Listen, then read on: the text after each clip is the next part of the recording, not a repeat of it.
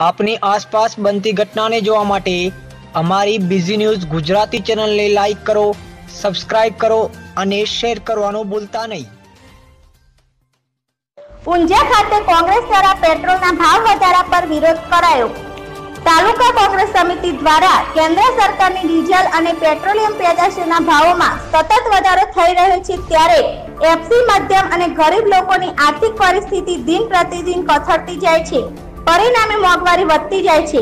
તેના અનુસંધાને ગુજરાત કોંગ્રેસના અમિતભાઈ ચાવડા પ્રમુખશ્રીની સૂચનાથી અને જિલ્લા કોંગ્રેસ સમિતિના અધ્યક્ષ માનસીભાઈ ઠાકોરની અનુમતિથી તાલુકા કોંગ્રેસ સમિતિના પ્રમુખ શ્રી ડીટી ઝાલાની આગેવાનીમાં ઊંઝા ઉનાવા હાઈવે ઉપર આવેલ હિન્દુસ્તાન પેટ્રોલ પંપ આગળ આજે સવારે દસ કલાકે વિરોધ પ્રદર્શન અને ધરણા કરવામાં આવ્યા, જેમાં તાલુકા કોંગ્રેસ પ્રમુખ શ્રી ડીટી ઝાલા, જિલ્લા ઉપપ્રમુખ નટુજી ઠાકોર, શહેર કોંગ્રેસના પ્રમુખ અરવિંદ પટેલ જિલ્લા ઉપપ્રમુખ આર એલ પરમાર, સામાજિક કાર્યકરો એઠોડ તથા તાલુકાના ગ્રામ્ય વિસ્તારના કાર્યકરો ઉપસ્થિત રહ્યા હતા અને વિરોધ પ્રદર્શન કર્યું હતું.